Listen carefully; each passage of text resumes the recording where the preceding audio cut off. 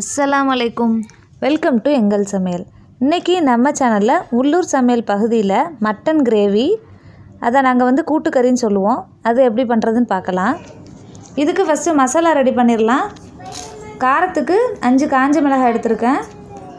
ஒரு ஏலக்காய் ஒரு சின்ன துண்டு பட்டை ஒரு மூணு துண்டு தேங்காய் அதையும் சேர்த்துக்கலாம். ஒரு டீஸ்பூன் ஜீரகம் அரை டீஸ்பூன் சோம்பு. இது எல்லாத்தையும் நல்லா அரைச்சி எடுத்துக்கலாம். இப்போ அரைச்சாச்சு. நான் கால் கிலோ மட்டனை கழுவி க்ளீன் பண்ணி வச்சுருக்கேன். அதில் இந்த மசாலாவை சேர்த்துடலாம். தேவையான அளவு உப்பு கால் டீஸ்பூன் மஞ்சள் தூள் சேர்த்து இதை நல்லா மிக்ஸ் பண்ணி வச்சிடலாம். ஒரு பத்து நிமிஷம் ஊறட்டும். இது கால் கிலோ கறியோட மசாலா அளவு. நீங்கள் காரம் நல்லா சாப்பிடுவீங்க அப்படின்னா ஏழு டு எட்டு காஞ்ச மிளகாய் சேர்த்துக்கோங்க. இப்போ ஸ்டவ் ஆன் பண்ணி ஒரு குக்கரில் ரெண்டு டேபிள் ஸ்பூன் நல்லெண்ணெய் சேர்த்துக்கலாம் ஒரு டீஸ்பூன் இஞ்சி பூண்டு விழுது சேர்த்துக்கலாம் கொஞ்சம் கருவேப்பிலை சேர்த்துக்கலாம். சேர்த்து நல்லா வதக்கி விட்டுறலாம்.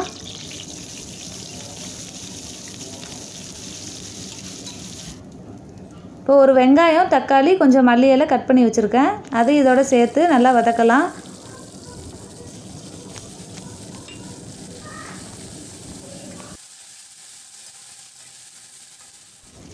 இப்போ தக்காளி வெங்காயம் நல்லா வதங்கிருச்சு. நம்ம கறியை இதோட சேர்த்துடலாம்.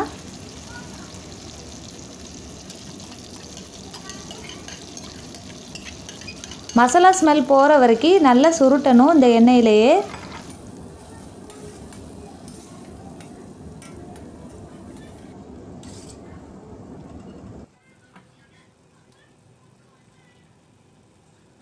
இப்போ நல்லா சுருண்டுருச்சு. எண்ணெய்லாம் பிரிஞ்சு வந்திருக்கு.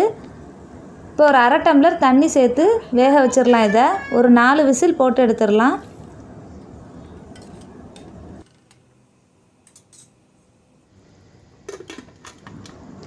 நாலு விசிலுக்கு அப்புறம் ப்ரெஷர்லாம் அடங்கினதுக்கப்புறம் இதை ஓப்பன் பண்ணி பார்க்கலாம்.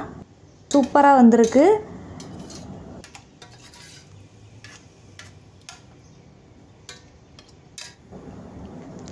நான் வந்து நூறு உருளைக்கிழங்கு இந்த மாதிரி பெருசு பெருசாக கட் பண்ணி வச்சுருக்கேன். இந்த உருளைக்கிழங்கு இதோட சேர்த்துடலாம்.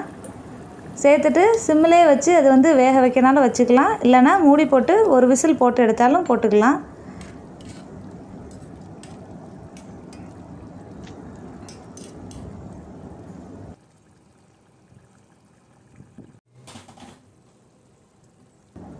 இப்போ உருளைக்கிழங்கு வெந்துருச்சு.